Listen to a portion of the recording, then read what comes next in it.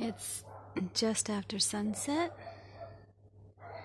and it's quite dark, but the sky is not completely dark yet, so you can see it's quite bright.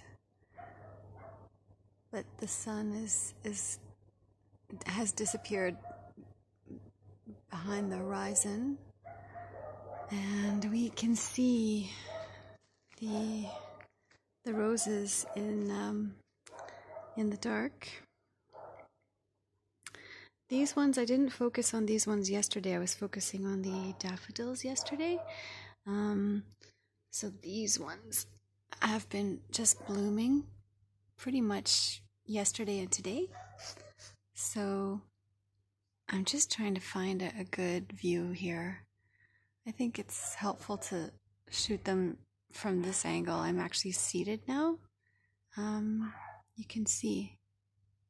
I'm really discovering how good the camera is with close ups. So I'm trying to do more of those. Yeah.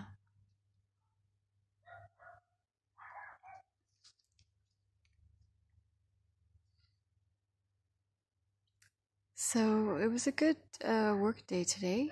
I did a lot of work on the um, porch, the front porch just outside the front door, and it was warm. It was actually quite a hot one, but it wasn't humid, so it was actually pretty comfortable to work outside.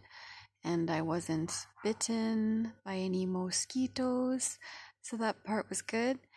And uh, I made it to the grocery store, um, which was a nice trip and a successful trip. Trip. I bought um, some frozen spinach and some frozen blackberries, so just some goodies to to fuel me um, to get ready for the next grocery run, which will probably be in the next couple of days, tomorrow or the next.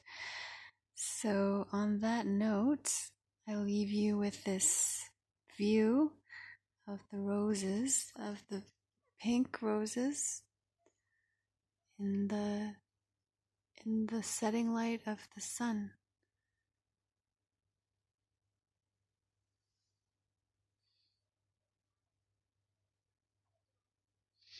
Or in the light of the setting sun,